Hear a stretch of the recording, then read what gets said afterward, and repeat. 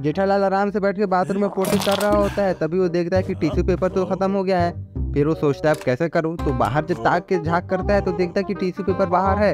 अब वो सोचता है चलो चोरी चुप के टिश्यू पेपर लेके आते हैं। अब टिश्यू पेपर वो लेने के लिए जाता है बट वहाँ पे टिश्यू पेपर खत्म। अब सामने से व्यक्ति आने लगता है वो अपना चड्डी बड्डी लेके भागता है जल्दी से। अब उसको समझ नहीं आ रहा था क्या करूँ? तभी वहाँ पे एक परी आती है उसको टिश्यू पेपर देने के लिए। और जे